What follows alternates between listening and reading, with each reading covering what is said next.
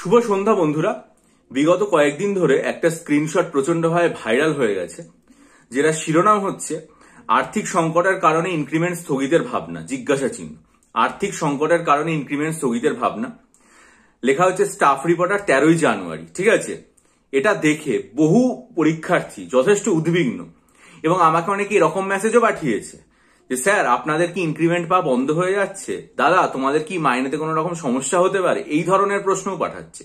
অর্থাৎ যারা পরীক্ষার্থী, তাদের মধ্যেও একই রকম ভাবে এই যে একটা সন্দেহ বা এই যে একটা আশঙ্কা, সেটা সঞ্চারিত হয়েছে, যার রেশ আছড়ে পড়েছে আমার হোয়াটসঅ্যাপে। আমার মনে হয়েছে, দেখো, এই যে মানে এই যে স্ক্রিনশটটা এটা কতটা ভুল আমি তোমাদেরকে একবার দেখাতে চাই।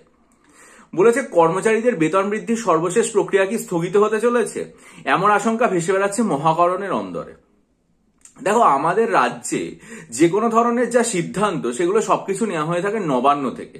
আমাদের যে অর্থ দপ্তর মানে যেখান থেকে আমি জয়নিং লেটার পেয়েছিলাম, বা জয়নিং সংক্রান্ত, বা যে কোনো কাজকর্ম সংক্রান্ত যা কিছু হয়, সবকিছু দু হাজার বারো সাল পর থেকে একদম পুরোপুরি নবান্ন থেকে হয়। সুতরাং ধাদিও কিছু ভাবনা চিন্তা যদি হতো, তাহলে সেটা খুব স্বাভাবিকভাবেই নবান্ন থেকে হতো। রিপোর্টে লেখা আছে মহাকরণ। সুতরাং প্রথমেই বোঝা যাচ্ছে যে এই খবরটা একেবারে ঠিক নয়। ঠিক আছে? তারপরে দেখো, এখানে রয়েছে শিক্ষক কর্মচারীদের বেতন বৃদ্ধি ইনক্রিমেন্ট হয় কীভাবে মহার্ঘ ভাতা এই সমস্ত কিছু, অনেক কিছু আর কি মানে এখানে রয়েছে। হ্যাঁ কিন্তু এখানে আরও একটা আর কি মানে তাৎপর্যপূর্ণ কথা লেখা লেখা আছে। সেটা হচ্ছে, আমি সাধারণত রাজনৈতিক কথা বলি না, কিন্তু এখানে যেটা উল্লেখ করা হয়েছে তৎকালীন বামফ্রন্ট সরকার ষষ্ঠ বেতন কমিশন যখন রাজ্যে লাগু করেছিল, তখন তিন শতাংশের পরিবর্তে আড়াই শতাংশ ইনক্রিমেন্ট কার্যকর হয়েছিল। দুটো কথা এখানে বলার কথা, ঠিক আছে? প্রথম কথা যেটা, সেটা হচ্ছে আমাদের রাজ্যে বামফ্রন্ট সরকার দু হাজার এগারো সাল পর্যন্ত ক্ষমতায় ছিল এবং তখন আমাদের যে বেতন কমিশন ছিল, সেটা হচ্ছে পঞ্চম বেতন কমিশন, ঠিক আছে? আমাদের রাজ্যে ষষ্ঠ বেতন কমিশন, যেটাতে আমি মাইনে পাওয়া শুরু করেছি দু হাজার কুড়ি সালের জানুয়ারি মাস থেকে, তার আগে কিন্তু ষষ্ঠ বেতন কমিশন ছিল না। নতুন রোপা যেটা, সেটা দু হাজার সালে হয়েছে এবং দু হাজার কুড়ি সালের জানুয়ারি মাস থেকে সেটাতে বেতন কার্যকর হয়েছে এবং সেটা হচ্ছে ষষ্ঠ বেতন কমিশন। সুতরাং বামফ্রন্ট সরকারের আমলে যেটা ছিল সেটা হচ্ছে পঞ্চম বেতন কমিশন, এটা হচ্ছে ষষ্ঠ বেতন কমিশন। দু তিন নম্বর কথা, এখানে বলা হয়েছে আড়াই শতাংশ ইনক্রিমেন্ট আড়াই শতাংশ ইনক্রিমেন্টের খবর কিছুই আর কি মানে জানি না, ঠিক আছে?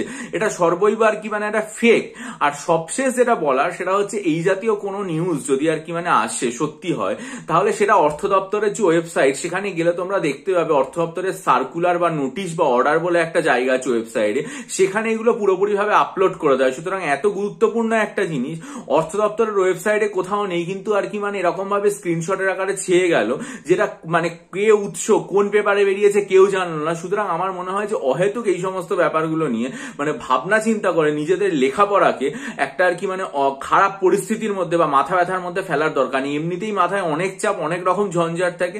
সেখানে এগুলো নিয়ে কোনো ভাবার দরকার নেই। এটা পুরো ফেক এটা যে ফেক কি কি থেকে বোঝা যাচ্ছে? প্রথম কথা হচ্ছে অর্থ দপ্তর নবান্নে যা সিদ্ধান্ত হবে নবান্ন থেকে হবে, সুতরাং এটা ঠিক নয়। এখানে লেখা আছে মহাকরণ। দু নম্বর যেটা সেটা হচ্ছে বামফ্রন্ট সরকারের আমলে ছিল পঞ্চম বেতন কমিশন। দু উনিশে চালু হয়েছে ষষ্ঠ বেতন কমিশন। অর্থাৎ এটা একেবারেই ভুল। আর আড়াই শতাংশের কথা কেউ জানে না। সবসময় তিন শতাংশ ইনক্রিমেন্ট যেটা জুলাই মাসে হয়ে থাকে। আর একটা যেটা লাস্ট কথা বলার, সেটা হচ্ছে এই জাতীয় যে কোনো খবর সবসময় ফাইন্যান্স ডিপার্টমেন্টের ওয়েবসাইটে যাবে। আমি এই যে মানে স্ক্রিনশটটা এটা চেষ্টা করছি আমার থামনেলের মধ্যে দিয়ে দেওয়া তোমরা ওখান থেকে দেখে নিও। এই জাতীয় অহেতুক খবরে মানে ভুলে বা এই জাতীয় অহেতুক খবর নিয়ে চিন্তা করার কোনো দরকার নেই, ঠিক আছে? এটাই আজকের ভিডিওর বক্তব্য। আবার বলছি, এটা সর্ব সর্বৈব মিথ্যা এবং ভুল এরকম কোনো নির্দেশিকা, কোনো ভাবনা চিন্তা কোনো জায়গায় নেই। ঠিক আছে? তোমাদের এটা নিয়ে ভাবার কোনো প্রশ্ন নেই।